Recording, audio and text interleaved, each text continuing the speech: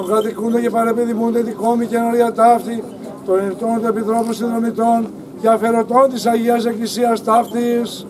Κύριε Λέησον, Κύριε Λέησον, Κύριε Λέησον.